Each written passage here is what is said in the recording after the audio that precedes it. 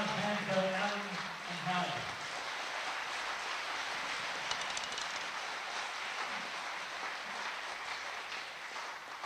If you want a good real rhythm section, you go to Melbourne. That's where they are.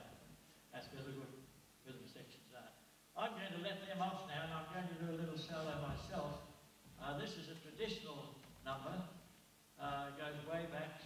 No, seems to know who composed it, but it's called Buddy Bolden's Blues.